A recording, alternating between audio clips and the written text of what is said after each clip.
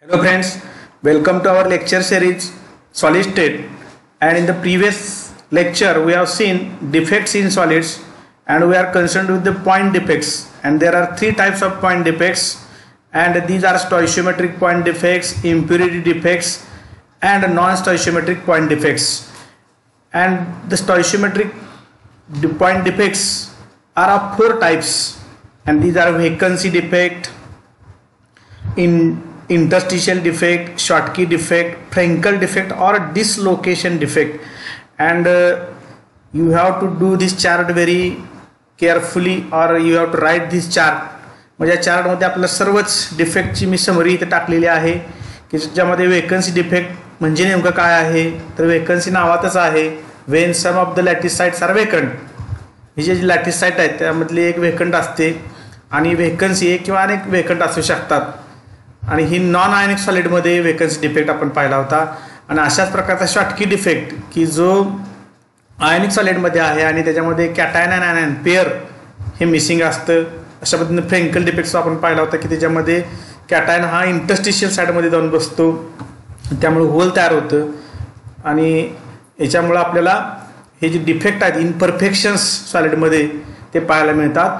हा जो पहिला प्रकार होता त्याला आपण असं म्हटलं होतं it is a type of point defect and it is a stoichiometric because the stoichiometric ratio remains same that means if uh, uh, the H2O molecule is there we, if we consider H2O molecule there are two hydrogen atoms and one oxygen atom and the stoichiometry remains same that means formula remains same it do not changes असं जर असेल तर त्याला स्टॉइशियोमेट्रिक defect असं म्हणतात समजा zinc oxide आहे zinc ऑक्साईडमध्ये एक झिंक आणि एक ऑक्सिजन आहे one is to one ratio आहे तर तो तसाच राहिला पाहिजे तर तसं जर राहत असेल तर त्याला स्टॉइशिओमेट्रिक डिफेक्ट असं म्हटलं जातं. आणि त्यामध्ये हे चार प्रकार आपण पाहिले होते. त्यानंतर आपण इम्प्युरिटी डिफेक्ट जो दुसरा टाईप आहे पॉईंट डिफेक्टमधला तर तो दुसरा इम्प्युरिटी डिफेक्ट आहे. आणि त्याच्यामध्ये नावातच आहे इम्प्युरिटी असते फॉरेन ॲटम्स असतात. Impurity defect arises when foreign atoms that is atom different from the host atoms ज्याला होस्ट कशाला म्हणायचं? तर जो पहिला ॲटम डायग्राम आपण पाहूया ही जी डायग्राम आहे डायग्राममध्ये आपण ब्रासचं एक्झाम्पल घेतलेलं आहे. या ब्रासमध्ये असं दिसतंय की कॉपर हे होस्ट ॲटम आहेत. आणि जे ब्लॅक कलरचे जे ॲटम्स आहेत ते कोणाचे आहेत? तर झिंकचे आहेत. त्याला आपण फॉरेन ॲटम्स असं म्हण म्हणतो. तर हे फॉरेन ॲटम्स काय करतात? तर त्यांच्या जागेवरती कॉपरच्या जागेवरती जाऊन बसतात. Some of the sites of the copper are occupied by these foreign atoms these are zinc atoms or any other atoms in case of brass zinc atoms occupies the positions which are of the copper and hence it is the impurity defect. That means host atoms are um, different atoms than the host atoms are present in the crystal lattice there are two kinds of impurity defects. These are the substitutional and interstitial impurity defect. आता हे सुद्धा दोन प्रकारचे असतात. Substitutional हे जो example आपल्याला दिसतंय ते सबस्टिट्युशनल इम्प्युरिटी डिफेक्टचा आहे. म्हणजे सबस्टिट्यूट झालेला आहे. कोण सबस्टिट्यूट झाला आहे तर कॉपरला सबस्टिट्यूट केले कोणी? झिंगनं. झिंगचे जे जे ॲटम दिसतात त्या झिंगच्या ॲटमनी कॉपरला बाजूला काढले आणि तिथे ते गेलेले आहे त्याला म्हणायचं substitutional atoms are present instead of host atoms in this defect the foreign atoms are found at the lattice sites in place of host atom ही जागा कोणाची आहे? तर कॉपरचे ही जागा कॉपरचे तर हे जे ब्लॅक कॉ झिंकचे ॲटम आहेत त्यांनी कॉपरची जागा घेतलेली आहे. होस्टची जागा घेतलेली आहे. असं जर असेल तर त्याला सबस्टिट्युशनल इम्प्युरिटी डिफेक्ट हा सबस्टिट्युशन हा शब्द आपण ऐकलेला आहे. सबस्टिट्यूट म्हणजे त्याच्या बदली. तर कॉपरच्या बदली झिंक इथे येऊन बसलेला आहे. म्हणजे त्याला सबस्टिट्युशन त्याच्या जागेवरती बसलेला आहे. And foreign atoms are found at the lattice sites in place of host atoms the regular atoms are dis displaced from their lattice sites by impurity atoms आणि ह्याचं एक्झाम्पल आपण पाहतो की solid solution of metals alloy जे सगळे आहेत त्या अलॉयमध्ये two or more metals combined together and these are substitutional impurity defects हे आपण पाहिलं. तर दुसरा व्हॅकन्सी थ्रू ॲल्युओव्हॅलंट इम्प्युरिटी हा त्यातलाच एक प्रकार आहे सबस्टिट्युशन मधलाच. आता ॲल्युओव्हॅलंट म्हणजे काय नेमकं? ॲल्युओव्हॅलंट आयन कशाला म्हणायचं? तर ions with oxidation state different from that of the host ions host आयनपेक्षा oxidation state वेगळं असणार. असं जर इम्प्युरिटी आली फॉर एक्झाम्पल आपण हे जे एक्झाम्पल दिसते की त्याच्यामध्ये हे एन ए सी एलचं क्रिस्टल आहे. N A plus C L minus N A plus C L minus these are arranged but here foreign ion comes instead of sodium N A plus N A plus आयनच्या ऐवजी हा strontium to plus ion आलेला आहे. त्याला olio व्हॅलंट ion असं म्हटलेलं आहे. का olio व्हॅलंट ion का म्हटलं? तर ह्याची ऑक्सिडेशन स्टेट आहे ती प्लस टू आहे. आणि एन एची आहे प्लस वन आहे. बरं म्हणून आता हा याला आपण सबस्टिट्युशनल असं का म्हणणार? सबस्टिट्युशन कारण सोडियमची जी जागा होती त्या सोडियमच्या जागेवरती हा स्ट्रॉन्शियम येऊन बसलेला आहे. परंतु सोडियमचा जो ऑक्सिडेशन स्टेट आहे ती प्लस वन आहे. आणि स्ट्रॉन्शियमची किती आहे? प्लस टू आहे. म्हणजे आपला इलेक्ट्रिकल चार्ज तर मेंटेन झाला पाहिजे. आणि to maintain the electrical charge two N A plus ions are removed for one strontium ion म्हणजे एस आर टू प्लस जर त्या क्रिस्टलमध्ये आला तर दोन एन ए प्लस जाणार आहेत. कारण एस आरवरती टू प्लस चार्ज आहे आणि एन एवरती प्लस वन आहे. म्हणजे एक एस आर टू प्लस जर आला तर दोन एन ए प्लस बाहेर पडले पाहिजेत. मग एका एन ए प्लसच्या जागेवर हा एस आर टू प्लस बसला आणि एक जागा व्हेकंट राहिली.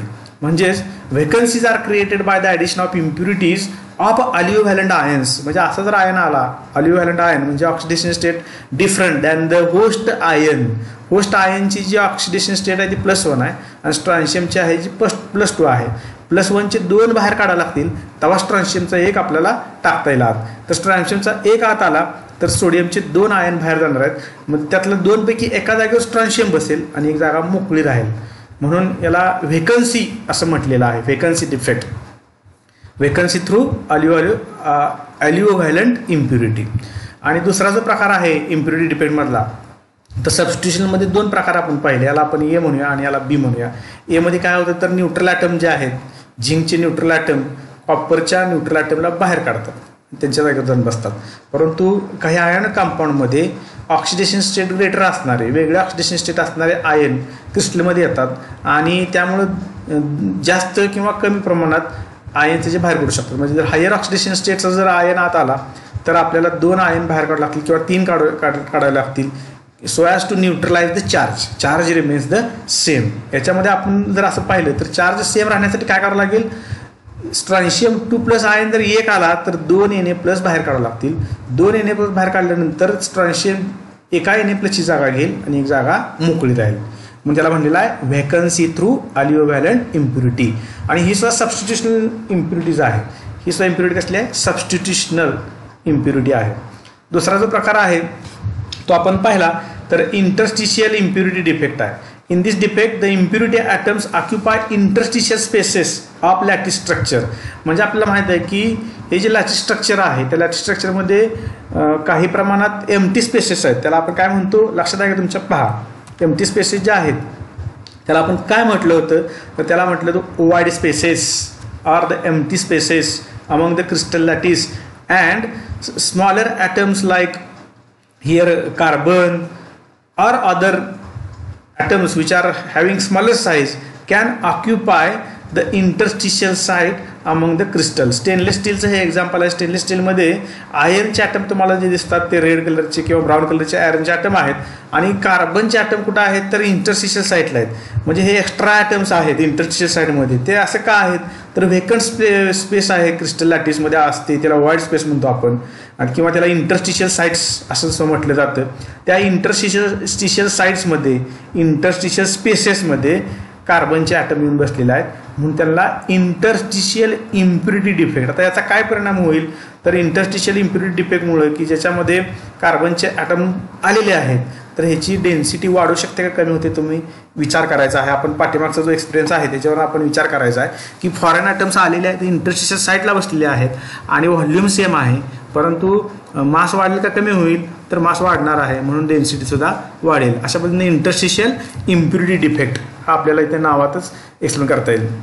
हे जे तीन प्रकार होते ते इम्प्युरिटी डिफेक्टचे होते. दोन सॉरी दोन प्रकार substitutional impurity defect and interstitial impurity defect याच्यामध्ये दोन प्रकार पाहिले आपण की एक न्यूट्रल असताना किंवा आयन आयनिक सॉलिडमधचा असा असू शकतो.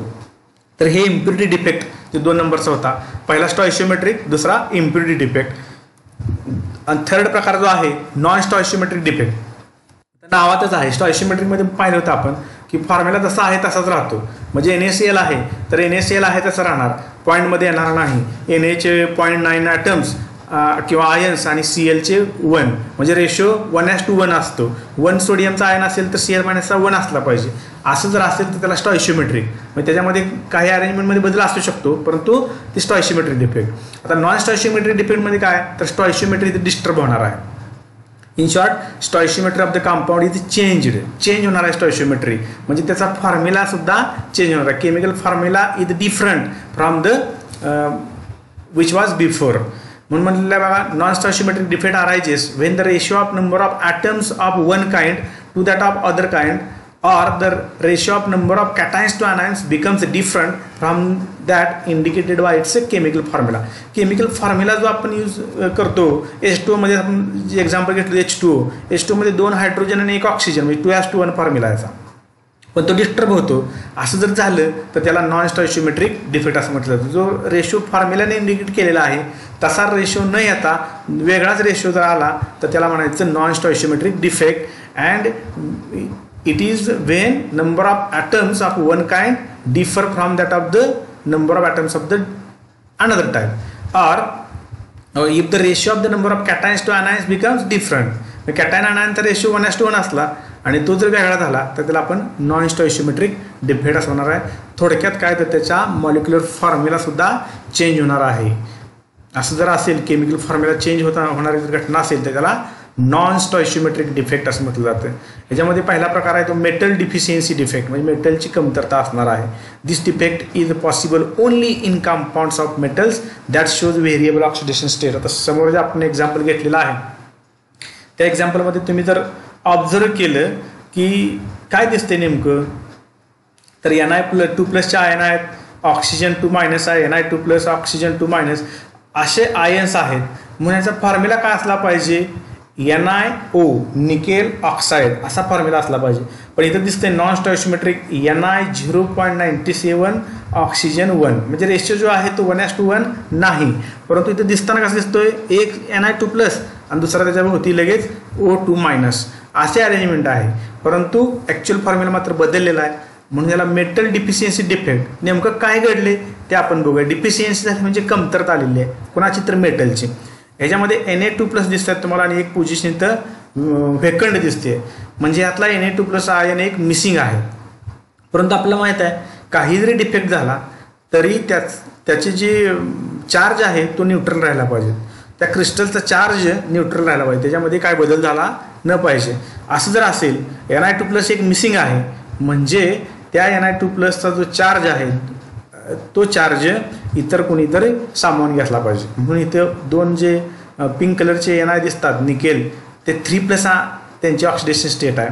एक एन ए टू प्लस गेल्यामुळं याचा पहिला N I N I N I two plus होता तो एन आय थ्री प्लस झाला आणि हा दुसरा एन आय थ्री प्लस झाला.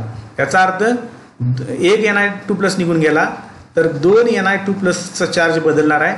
तो एन आय थ्री प्लस होणार आहे. म्हणून असं म्हटलेलं आहे this defect is possible only in the compound of metals that show variable oxidation state तर निकेलच्या बाबतीमध्ये plus two oxidation state possible आहे प्लस थ्री आहे प्लस फोर पॉसिबल आहे.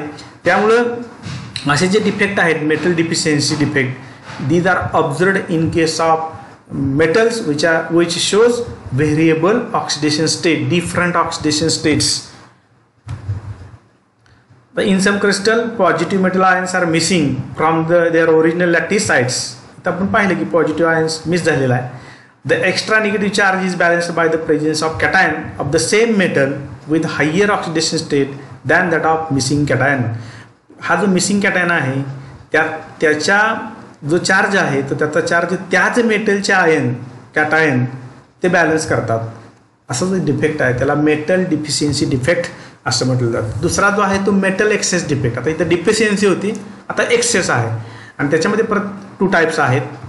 त्यातला पहिला जर बघितला आपण neutral atom or and extra positive ion occupies interstitial position हे दोन प्रकार आहेत. न्यूट्रल ॲटम तर येऊ शकतो किंवा पॉझिटिव्ह आयन हा सुद्धा इंटरस्टिशियल पोझिशनला येऊ शकतो. त्यातला फर्स्ट जो टाईप आहे की त्याच्यामध्ये न्यूट्रल झिंक आलेला आहे. कुठं आलेला आहे? तर इंटरस्टिशियल साईटला excess neutral zinc atom is present at the intercity interstitial site of zinc oxide crystal zinc oxide हे क्रिस्टलाईन स्ट्रक्चर आहे. त्याच्यामध्ये Z N two plus O two minus Z N two plus O two minus असे ions आहेत. आणि त्याच्यामध्ये हा झिंकचा एक neutral item येऊन बसलेला आहे. आता न्यूट्रल ॲटम आला म्हटल्यानंतर तो चार्ज डिस्टर्ब करणार आहे का? तर अजिबात नाही. परंतु त्याची डेन्सिटी वाढेल का कमी? होईल तुम्ही विचार करा. तर डेन्सिटी ही वाढणार आहे. कारण इंटरसिसच्या साईडला एक झिंक येऊन बसलेला आहे. Extra extra Z N occupies the interstitial site hence it is known as sorry metal excess defect त्याला आपण मेटल एक्सेस डिफेक्ट असं म्हणणार आहे. आता दुसरी केस काय? In the second case when zinc oxide is heated it decomposes आता zinc oxide आहे. हेच क्रिस्टलाइज स्ट्रक्चर आहे असं समजा आपण. आणि त्यातला जिंक ऑक्साईडला आपण ह्या क्रिस्टलला हिट केलं तर त्यातला Z N two plus ion एक तयार झाला आणि यातनं ऑक्सिजन मिसिंग झाला. ऑक्सिजन निघून गेला. आणि त्या क्रिस्टल साईडमध्ये एक Z N two plus extra आलेला आता आणि ज ऑक्सिजन निघून गेला परंतु टू इलेक्ट्रॉन्स क्रिस्टल लॅटिसमध्येच ठेवून गेलेला. आहे ऑक्सिजन ऑक्सिजन हा गॅस स्टेटमध्ये तो गॅस स्टेटमध्ये निघून गेला हिट केल्यानंतर. परंतु Z N two plus ion हा तसाच तिथं राहिला. आणि तो काय करतोय? तो क्रिस्टल लॅटिसच्या इंटरस्टिशियल साईडला जातो. आणि दोन इलेक्ट्रॉन ते सुद्धा कुठे जातात? तर क्रिस्टल लॅटिसच्या इंटरस्टिशियल साईडला जाऊन बसलेले आपल्याला दिसतात. अशा पद्धतीनं हा सर डिपेंड कसा आहे? The excess Z N two plus ions are trapped in interstitial set site in the lattice and the electron also diffuse in the crystal to occupy interstitial sites म्हणजे दोघांनी सुद्धा इंटरस्टिशियल साईड घेतलेले आहेत. कोणी कोणी तर जे Z N two plus ion जो मिळालेला आहे झिंक ऑक्साईडचं डिकम्पोशन झाल्यानंतर त्यांनासुद्धा सुद्धा इंटरस्टिशियल साईड घेतलेली आहे. आणि these two electrons also diffuse in the crystal lattice and they occupy the interstitial site आणि ह्या दोन्ही केसेसमध्ये in both the cases non stoichiometric formula of zinc oxide is याचा जो झिंकचा ऑक्साईडचा फॉर्म्युला आहे तो बदलतोय. वन मायनस एक्स आणि ओ आहे तो सॉरी वन प्लस एक्स वाढलेला आहे आपल्याला. फॉर्म्युला काय होईल? Z N one plus X म्हणजे जेवढे येतील तेवढे. वन प्लस एक्स आणि ऑक्सिजन वन म्हणजे झेड एन बदलणार आहे. प्लस वन असेल प्लस टू असेल जेवढे आयन्स येतील ते वाढणार आहेत.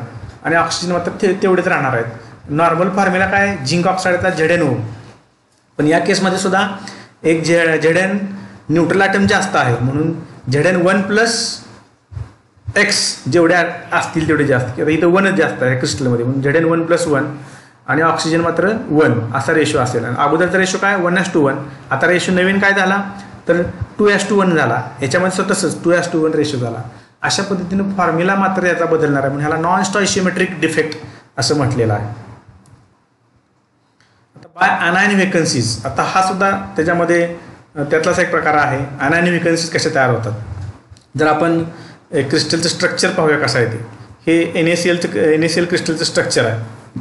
की ज्याच्यामध्ये this type of defect imparts colour to the colourless crystal colour colourless क्रिस्टलला colour येणार आहे. For example when N S L crystal is heated in the atmosphere of sodium vapour आता सोडियम क्लोराईड हा जो क्रिस्टल आहे त्याला हा समजा sodium क्लोराईडचा crystal आहे. त्याला सोडियम वेपरबरोबर हिट केलं तर सोडियमचे जे वेपर्स आहेत ते ॲटम्स आहेत deposited on the crystal surface या क्रिस्टल सरफेसवरती सोडियमचे ॲटम्स डिपॉझिट होतील. हे कसले ॲटम्स आहेत? न्यूट्रल ॲटम्स आहेत.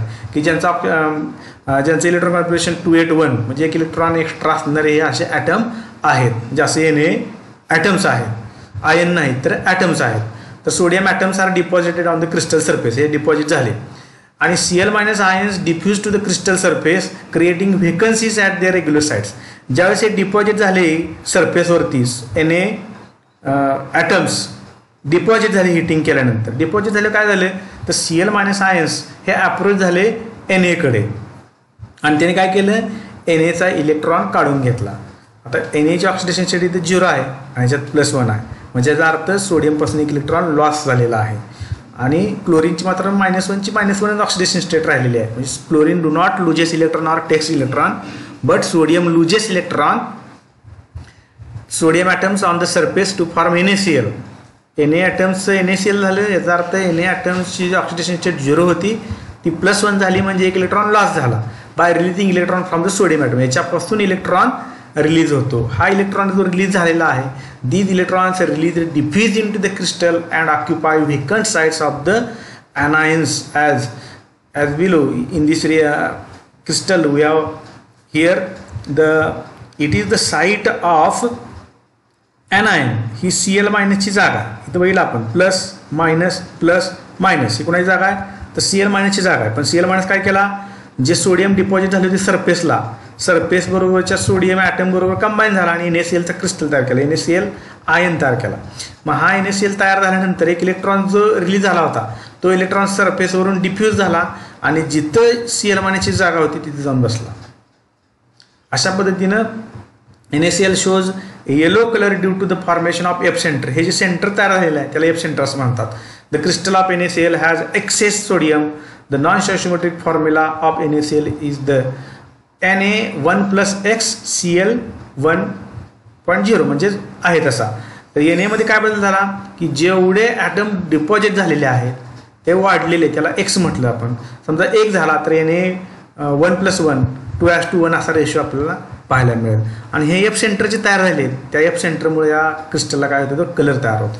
मग ह्याला सुद्धा म्हणलेला आहे बाय अनायन वेकन्सीज अनायनची वेकन्सी का तयार झाली? तर एन एस एल क्रिस्टलला सोडियम वेपरबरोबर हिट केलं सोडियमचे ॲटम डिपॉझिट झाले क्रिस्टलच्या स्ट्रक्चरवरती ह्या क्रिस्टल स्ट्रक्चरवरती डिपॉझिट झालेले एन ए न्यूट्रल ॲटम आहेत. आणि सी एल मायनस यांच्याकडे अप्रोच होतात. आणि त्यांच्याकडून इलेक्ट्रॉन्स एन एकडून काढून घेतात. मग इलेक्ट्रॉन काढल्यामुळे एन एस एल तयार झालं. आणि हा जो इलेक्ट्रॉन आहे तो इंटरस्टिशियल साईटला जाऊन बसतो. म्हणून त्याला म्हटलेलं आहे इंटरस्टिशियल डिफेक्ट हा इंटरस्टिशियल साईटला बसतो. आणि किंवा त्याच्या स्वतःच्याच जो सी जी जागा आहे त्या जागेवर जाऊन बसतो. आणि ह्याला एफ सेंटर असं म्हटलेलं आहे. आणि या एफ सेंटरच्या मुळेच आपल्याला हा क्रिस्टलचा कलर हा आलेला दिसतो. अशाच पद्धतीचं झिंक ऑक्साईडच्या बाबतीमध्ये सुद्धा आहे. असं या पद्धतीनेच आपल्याला झिंक ऑक्साईडच्या बाबतीमध्ये पाहता येईल. तर आज आपण अशा प्रकारचे जे डिफेक्ट आहेत ते डिफेक्ट्स पाहिलेले आहेत. सर्व प्रकारचे डिफेक्ट आपले इथे संपलेले आहेत. कुठल्या कुठल्या प्रकारचे डिफेक्ट पाहिले आणि त्यांचा परिणाम काय आहे ते तुम्ही समराईज करण्याचा प्रयत्न करायचा आहे. पुन्हा एकदा मी एक मिनटामध्ये आपण कुठले कुठले आज पाहिले त्याच्या अगोदर कुठले पाहिले होते हे दोन मिनटामध्ये आपण जाऊया. तर वेकन्सी डिफेक्ट हे जे आहे ते पॉईंट डिफेक्टचे सगळे प्रकार आहेत. हे चार जे आहेत ते स्टॉइशिमेट्रिक पॉईंट डिफेक्टचे प्रकार आहेत. ह्याला स्टॉइशिमेट्रिक काय म्हटलं? तर फॉर्म्युला जो आहे केमिकल फॉर्म्युला जो इंडिकेट केलेला आहे तसाच राहतो. त्याच्यामध्ये काय बदल होत नाही. मग असं का? तर आता व्हेकन्सी डिपेंडमध्ये बघितलं आपण. When some of the lattice sites are vacant आता हे न्यूट्रल ॲटम आहेत. त्याच्यामुळं इथं दोन ॲटम लूज झालेले आहेत. मग व्हेकन्सी तयार झाली. त्यांची डेन्सिटी डिक्रीज होते. पण फॉर्म्युला मात्र सेमच राहिलेला आहे. फॉर्म्युलामध्ये बदल झालेला नाही. असं का? तर दोघंही निघून गेलेले आहेत. दोन्ही ॲटम जे दोन ॲटमचं बनलेलं होतं तर दोन त्यातले दोन्ही ॲटम निघून गेले. म्हणून त्यांचा जो फॉर्म्युला आहे तो तसाच रेशो जो आहे तो तसाच राहतो. इंटरस्टिशियल डिफेक्ट तशाच पद्धतीच्या इंटरस्टिशियल इंटरस्टिशियल साईटला स्वतःची जागा सोडून दुसऱ्या जागेवर सुद्धा येऊ शकतो एखादा ॲटम किंवा एक्स्ट्रा ॲटम येऊ शकतो. अशामुळे सुद्धा डिफेक्ट तयार होतो. परंतु हे न्यूट्रल ॲटम आहे. त्यामुळे चार्ज त्यांच्यावरता काय कमी होणार नाही किंवा जास्त होणार नाही. हे जे चार प्रकार आहेत Schottky defect Frenkel defect vacancy defect interstitial defect हे चारही प्रकार स्टॉइशिमेट्रीचे आहेत. स्टॉइशिमेट्रिक डिफेक्ट आहेत. नंतर आपण इम्प्युरिटी डिफेक्ट पाहिले. इम्प्युरिटीमध्ये दोन पाहिले. Substitutional impurity and another type is a second type is a interstitial substitute आणि इंटरस्टिशियल नावातच आहे. सबस्टिट्यूट म्हणजे पहिल्याला काढून दुसरा तिथे त्यांच्या जागेवरती येतो. आणि दुसरा इंटरस्टिशियल म्हणजे जे अवेलेबल जागा आहे एम टी स्पेस आहे त्यात जाऊन बसणे. म्हणजे इम्प्युरिटी आहे परंतु एम टी प्लेसेस ज्या क्रिस्टल स्ट्रक्चरमध्ये आहेत त्याला आपण वाईड स्पेसेस म्हणतो. त्या ठिकाणी स्मॉल आयटम बसतात. एक्झाम्पल आहे स्टेनलेस स्टील आता क्वेश्चन याच्यावरती कसे असू शकतात? तर explain interstitial impurity defect with example असा क्वेश्चन असेल तर एवढंच त्याचा आन्सर आहे. इंटरस्टिशियल इम्प्युरिटी डिफेक्ट आणि स्टेनलेस स्टील हे त्याचं एक्झाम्पल आहे. एक्सप्लेन सबस्टिट्युशनल इम्प्युरिटी डिफेक्ट हे त्याचं ब्रास अलॉय कुठलेही अलॉय घ्या तुम्ही पण आपल्या त्याच्यात कंटेंट माहीत पाहिजे. कॉपर आणि झिंक हे त्याचं कंटेंट आहे. अशा पद्धतीनं आपल्याला क्वेश्चन असणार आहेत. किंवा what is impurity defect define impurity defect तर नावाप्रमाणेच आपल्याला काही फॉरेन आयटम्स त्याच्यामध्ये येतात. असं जर फॉरेन आयटम्स आले त्या क्रिस्टल स्ट्रक्चरमध्ये पोस्ट आयटमच्या जागेवर येतील किंवा इंटरस्टिशियल साईडला येतील तर if foreign atoms are present in the crystal structure the defect produced imperfection produced is known as impurity defect. अशा पद्धतीचे डेफिनेशन सुद्धा आपल्याला इथं विचारले जाऊ शकतात. आणि तिसरा जो प्रकार आपण पाहिला तो नॉन स्टॉशिमेट्रिक डिफेक्ट याच्यामध्ये केमिकल फॉर्म्युला जो इंडिकेट केलेला आहे त्याच्यामध्ये बदल होतोय. इथं जो दिसतोय तो N I zero point ninety seven आणि ऑक्सिजन वन असा काही केमिकल फॉर्म्युला आला. तर नॉन स्टॉशिमेट्रीमध्ये दोन प्रकार आहेत. मेटल डिफिशियन्सी आणि मेटल एक्सेस आणि त्याच्यामध्ये आणखी एफ सेंटर काय आहे ते आपण पाहिलं. तर अशा पद्धतीने डिफेक्ट्सचा स्टडी आपण आज केलेला आहे. आता आपले आणखी दोन पॉईंट याच्यामध्ये राहिलेले आहेत. त्यामध्ये कंडक्टर्स इन्सुलेटर्स म्हणजे ह्या ज्या आहेत त्या इलेक्ट्रिकल प्रॉपर्टीज ऑफ मेटल्स आपल्या माहिती metals are good conductors of heat and electricity तर इलेक्ट्रिकल प्रॉपर्टी मेटल्सच्या कशा असतात? आणि why metals have electrical properties and non metals do not have electrical properties and also magnetic properties will study in the next session thank you